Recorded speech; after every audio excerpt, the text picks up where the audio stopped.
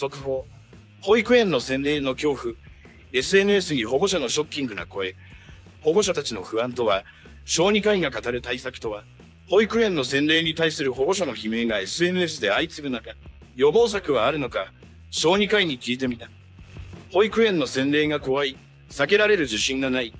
子供が保育園に通い始めて1週間経つけど、なんか鼻水が出てきたぞ。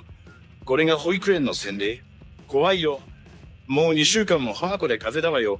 保育園の洗礼怖すぎだわ。4月以降、保育園に通い始めた子供たちに関する投稿が SNS 上で相次いでいる。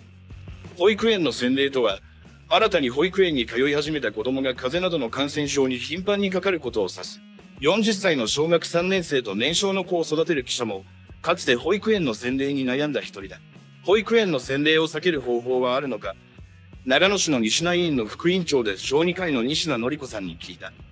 なぜ保育園に通い始めると、たくさん病気にかかってしまうのでしょうかと記者が尋ねると、西名医師は保育園は集団生活なので、今まで接したことのなかった様々なウイルスに接するようになります。一緒に生活する中で、飛沫感染などで移るのは仕方がないことですと説明した。症状で多いのは何ですかとの質問に対し、西名医師は鼻水と咳ですね。いわゆる普通の風邪ですと答えた。防ぐことはできないのでしょうかという質問に対しては、完全に防ぐことはできないし、防ぐ必要もないと思っています。風邪をひくことで必要な免疫を獲得する通過儀礼だと思いますと西名医師は述べた。保育園の洗礼はいつ頃まで続くのでしょうかとの質問に対し、ミシナ医師は入園から2ヶ月ぐらいがピークが続く印象があります。ただ、2ヶ月過ぎたから大丈夫ということではなく、1年ぐらいは常に鼻水は出ているものだよ、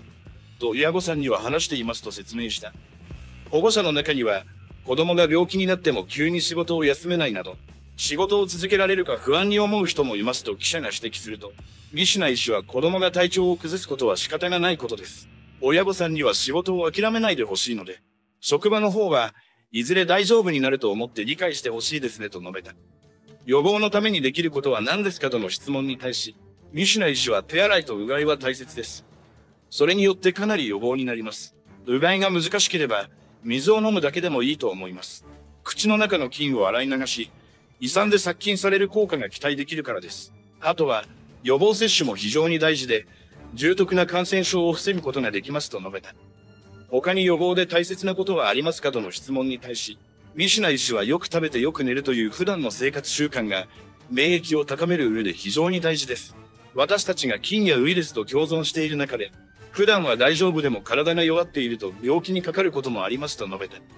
いわゆる普通の風邪の場合、登園できる目安はありますかとの質問に対し、ミシナ医師は日中熱が下がっていっても夕方から夜にかけて上がってしまうことも多いので、丸1日は解熱していることを確認してから登園させてください。鼻水と咳を完全にゼロにするには時間がかかるので、眠れて食事も取れていればいいと思いますと述べた。保育園の洗礼に悩む保護者にメッセージはありますかとの質問に対し、西名医師は子供が体調を崩しても、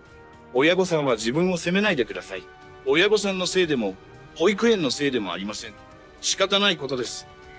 いずれ風邪をひく頻度も落ち着きますので、生きていくために必要な通過ポイントだと思ってほしいです。小児科医は、子供はもちろん、親御さんたちの味方でありたいと思っていますので、いつでも頼ってほしいですと述べた。保育園の洗礼を受け、仕事が続けられるか不安だったと記者は振り返る。8年前、長男が1歳になる月から保育園に預け始めたが、最初の1ヶ月間は子供の体調不良で勤務費のうち半分近くは出勤できなかった。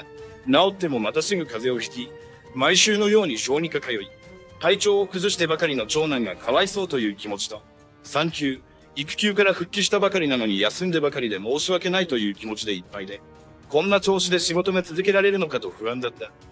ミシュナ医師の話を聞いて、保育園の洗礼に不安になっていた当時の自分にも聞かせたいと思った。長男も小学3年生の今では、ほとんど風邪をひかなくなった。1年半前から保育園に通っている次男も、体調を崩す回数は入園直後に比べて減っている。ミシナ医師の誰のせいでもないから自分を責めないでという言葉に私も救われた気がした。井口文。コメント。保育士も感染する可能性があるんですよ。そして、その感染は保護者にも及びます。私には保育士歴2年目の娘がいますが、1年目はずっと体調が優れない様子でした。最近も、学校の同僚の保育士6人で集まって食事をしたそうですが、そのうち4人が体調を崩したとか、本当に厳しい仕事だと思います。熱がある子供や、直前まで熱があった子供を普通に連れてくる保護者もいるみたいです。熱が上がってきて、電話して迎えに来てもらうことになるけど、なかなか来ないとか、日常茶飯事です。本当に最悪ですよね。子供さんに十分な休養を与えてあげてくださいね。しんどいのは保護者だけではありません。育児休暇は母親の健康だけでなく、乳幼児を不必要な感染から守るという意味もあると思います。免疫について言及されることもありますが、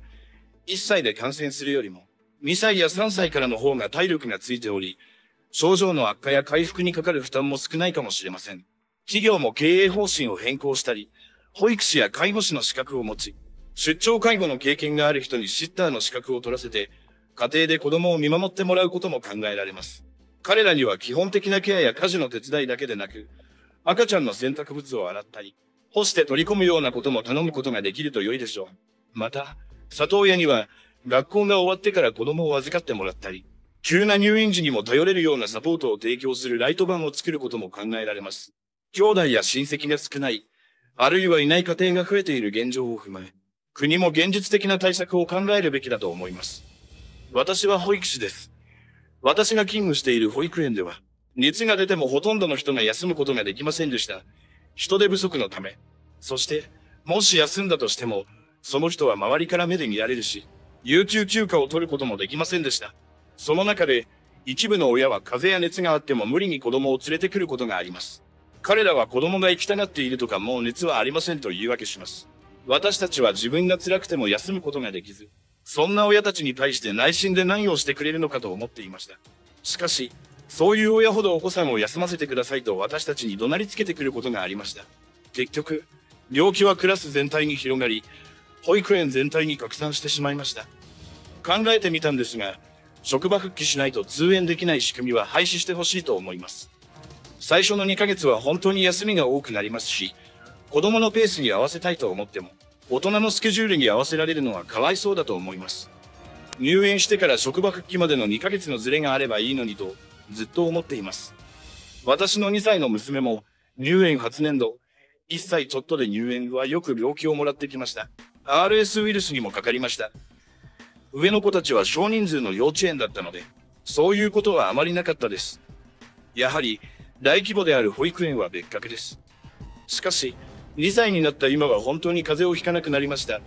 ほとんど休まず通えています。クラスでは何かしらの流行があるようですが、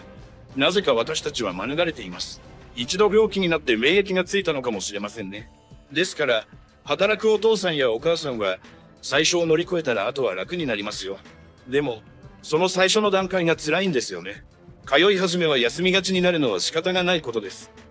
そうした認識が社会に広めることが重要です。